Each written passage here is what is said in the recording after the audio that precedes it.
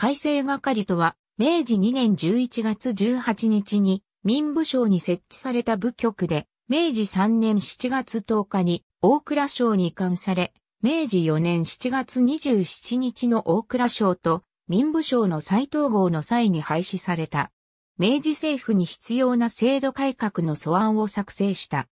明治2年、人的統合をもって統合された、諸位、民部大蔵省の大助であった大隈重信は、大蔵官僚、郷淳蔵の勧めによって、旧幕臣の渋沢栄一を登用しようとした。だが、渋沢は、現状の柿部大蔵省のあり方ではとても新しい国家建設に進める体制にはないとして、事態を申し入れた。だが、坂本正平、岡本健三郎ら若手官僚より、渋沢がその体制を作る中心になるべきであると、説得を受け、また、大熊や、京の伊達宗成からも、同様の趣旨の要請を受けて、渋沢を係長として、省内改革を推進する組織として発足した。大熊は、伊藤博文や井上薫を通じて省内に抱える政策課題などの諸問題について、家紋を行い、渋沢ら改正係が企画、立案を担当した。さらに、海外留学などで、欧米の事情に明るい前島密か、赤松時長、杉浦譲らを加えて充実させていった。特に土量港の統一、電信や鉄道の建設、郵便制度の創設、助号の廃止、食産工業の推進、廃藩置県の提言などが実行に移され、戸籍法や基礎改正、未分解法令も直ちには実施されなかったものの、ここでの提言が発案となっているなど、日本におけるシンクタンクの先駆け的な存在であった。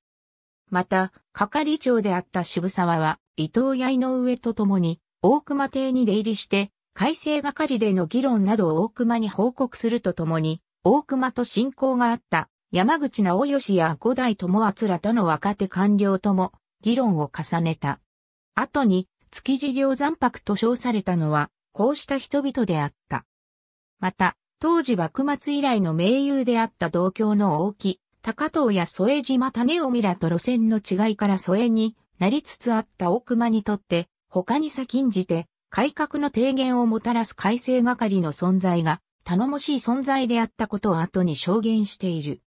だが、こうした改革があまりにも急進的であったために、政府内との保守派や地方間との対立を招いた。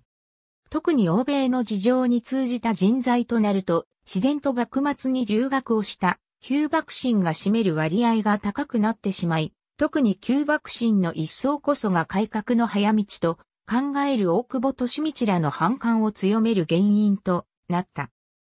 そのため、大久保の巻き返しによって、大倉、民部省幹部の兼任が解かれて、民部省に大北加藤、吉井智美、松方正義らが送り込まれると、改正係は大倉省に移され、また渋沢は係長を外されて、他のメンバーも大倉、民部領省内に分散させられるなどの弱体化が図られることになる。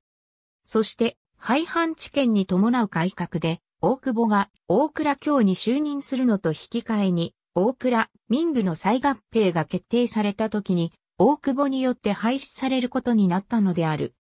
しかし、近代的な中央集権国家を目指すべく出された改正係の提言が、その後の近代国家の建設に大きな影響力を与えることとなった。ありがとうございます。